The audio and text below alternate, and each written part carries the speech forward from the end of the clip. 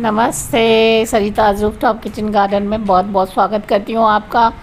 सामने आप लोग देख ही रहे हैं पोर्टल का नाइन ओ क्लॉक दस बजिया, नौ बजिया, जो भी कहो इनको, के फूल खिलने लगे हैं अभी से ही। धूप बहुत तेज़ होने लगी है क्योंकि तो आज इन्हीं के बारे में हम लोग बातें करेंगे, क्योंकि सबसे आसानी से उगने वाला एक बहुत ही प्यारा फूल, जो कि पूरी गर्मियों आप कहना चलता रहता है धूप में, बिना किसी केयर के। तो वीडियो शुरू करूँ, उससे पहले हम सी रिक्वेस्ट अगर मेरे वीडियोस पसंद आते हो तो कृपया मेरे चैनल को सब्सक्राइब करें बेल आइकन भी प्रेस करें, जिससे नए वीडियोस की टाइमली आपको इन्फॉर्मेशन मिलती रहे।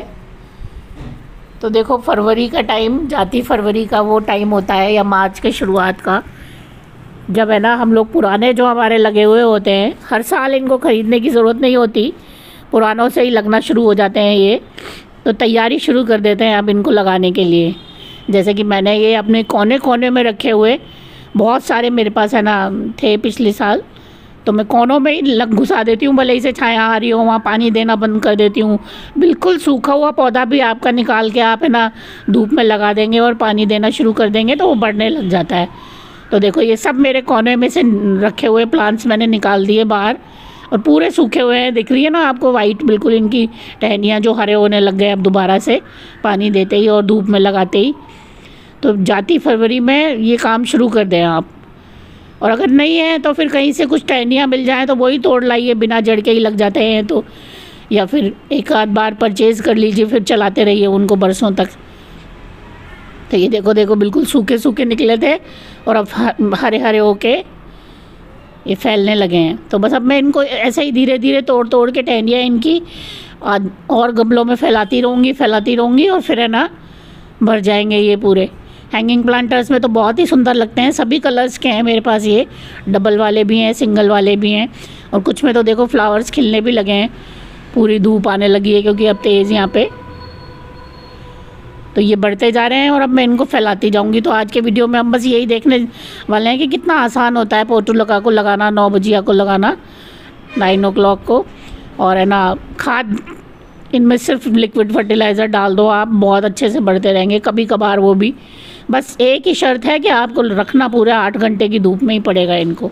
अगर आपके यहाँ पे धूप नहीं आती है तो आप है ना भूल जाइए कि नाइन ओ क्लॉक लगेगा। छाया में या कम धूप में ये अच्छे सर्वाइव नहीं करते फ्लावर्स नहीं देते फिर। पूरी धूप में आप रखेंगे तो चाहे चार इंच के पॉट में लगाया हुआ है आपने, उससे छोटे में भी लगाया हुआ होगा तो भी तो चलता रहेगा ये। तो हर जगह से मैं हर कलर का, आप देखो ये पेंजी में ही कितना बढ़ गया एक आध टाइनी कोई लगी हुई होगी यहाँ पे। टाइम है ना अब इनका बढ़ने का तो बस बढ़ना शुरू हो गए। छोटी सी जगह पर भी ये लग जाएगा, पर है ना, शर्त यही है कि धूप पूरी आनी चाहिए। पानी चाहे आप इनको कम दो, खाद चाहे बिल्कुल कम दो, कोई फ़र्क नहीं पड़ता इनको। हर तरह की मिट्टी में सर्वाइव कर जाते हैं। ये देखो मैंने फैलाने शुरू कर दिए हैं अब ये। मेरे हैंगिंग प्लांटर्स जो खाली होते जा रहे हैं ना, उनमें मैं ये लगाती जा रही हूँ सब में। और सिर्फ़ ज़रा ज़रा सी टहनियाँ तोड़ के इनकी, बिल्कुल छोटा सा पत्ता भी लग जाता है वैसे तो इनका। सकुलेंट फैमिली के होते हैं क्योंकि ये देखो अब हर पॉट में से मैं कुछ कुछ कलर के ऐसे ही तोड़ती जाऊँगी जो ये ग्रीन हुए हैं और लगाती जाऊँगी इनको। तो ये वो टाइम होता है जब आप है ना, थोड़ा सा टाइम इनको देके और फैलाते रहिए तो बस जैसे ही तेज़ गर्मियाँ शुरू होती हैं बिल्कुल फ्लावर्स की बाहर रंग बिरंगे फ्लावर्स की आपके है ना गार्डन में होना शुरू हो जाती है। हम लोग क्या है, जब सोचते हैं जब है ना फ्लावर्स खिल चुके होते हैं जब हम लोगों को लगता है कि हम भी ले आए अब। पर अगर शुरुआत से ही तैयारी करेंगे, ये सब मेरे सूखे देखो प्लांट्स निकल के आ रहे हैं, जो मैं सर्दियों में इधर उधर डाल देती हूँ अंदर। और यहीं से फिर मैं इनको तोड़ तोड़ के पूरे गार्डन में फैला देती हूँ अपने में। और बहुत सारे कलर्स के थे मेरे पास तो अच्छी है ना, रौनक लगेगी बिल्कुल। मिट्टी तो मैंने तैयार भी नहीं की और हैंगिंग प्लांटर्स की, वो जो पुराने प्लांट सुखड़े हैं ना, बस उन्हीं में मैं लगाती जा रही हूँ अभी और हल्का सा गीला करने के नाम पर लिक्विड फर्टिलाइज़र डाल दे, डालती जा रही हूँ। पानी इनको ज़्यादा नहीं देना होता क्योंकि ये सेकुलेंट फैमिली के होते हैं, ये देखो। बीटल्स आना शुरू हो गए हैं, गर्मियाँ शुरू होते ही कीड़े मकोड़े तो इतने दिखने लग जाते हैं प्लांट्स में।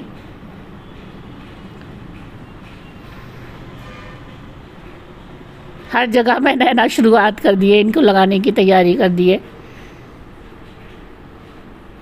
और ये देखो, इसमें कितने सारे नए पौधे निकले हुए हैं। सीड्स गिर गए होंगे तो बिल्कुल, ये नए प्लांट्स निकले हुए हैं, छोटे छोटे छोटे छोटे इसमें।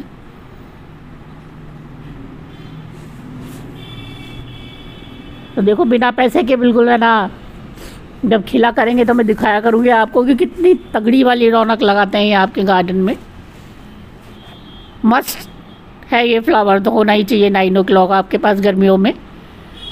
और बिल्कुल तेज़ धूप में भी खिला रहने वाला है ना, एक फ्लावर होता है ये, देखो छोटे पौधे, बिल्कुल। और क्या चाहिए, हम लोगों को इतना हार्डी प्लांट मिल जाए एक। और ये, इस तरह से बस है ना, मैं टहनियाँ निकाल रही हूँ। देखो जड़ भी हैं मेरे पास तो क्योंकि बहुत सारे पौधे मैंने रख दिए थे। और ये हैंगिंग प्लांटर्स जो खाली हुए हैं, इनमें बस सब रोपती जाती हूँ। और ज़्यादा कोई काम भी नहीं है, एक दो एक दो करती रहती हूँ, एक एक आध एक आध दिन में।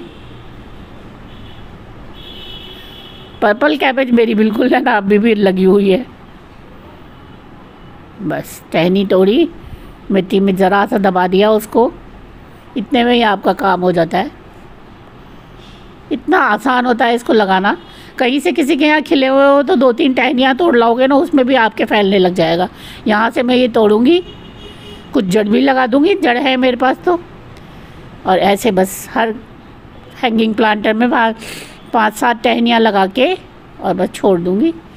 पूरा भर जाएगा पॉट अभी दस पंद्रह दिन में ही। ऐसे ही इसको दूसरे पॉट में लगा देती हूँ। सारे कलर्स के ऐसे ही कुछ कुछ गमले तैयार कर दूँगी।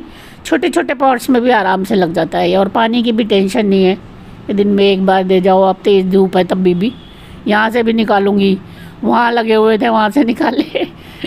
ये सब बचा के रख देती हूँ मैं सर्दियों में। देखो ये तो ऐसे ही रख दिया मैंने बस निकाल के। मिट्टी में भी नहीं गाड़ा हुआ फिर भी ठीक ठाक चल रहा है ये हरा हो गया। ज़रा सा धूप में रखा उसी में ही।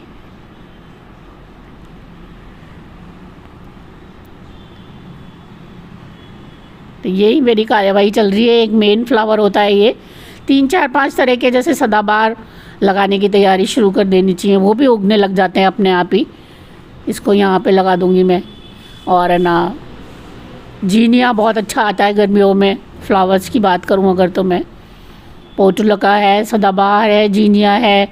और कोचिया है, अगर आपको ग्रीनरी चाहिए तो। 50 डिग्री टेम्परेचर में भी इतना खूबसूरत ग्रीन बना रहता है वो। तो कोचिया भी ज़रूर लगाएँ। गिलाडियस के भी अच्छे फ्लावर्स खिलते हैं गर्मियों में। और तो वो जो पैरेलियल बेल होती हैं आपकी सारी मोगरा है, अलमांडा है। राखी बेल में बहुत अच्छे फ्लावर्स आने लगेंगे। वो सब गर्मियों में खिलती हैं। वो भी लगा के रखिए अपने। और ये तो देखो, फ्री फंड का एक है ना, फ्लावर है जो तमाम तरह के कलर्स है ना बिखेरता रहता है आपके। और कितना आसान है इसको लगाना।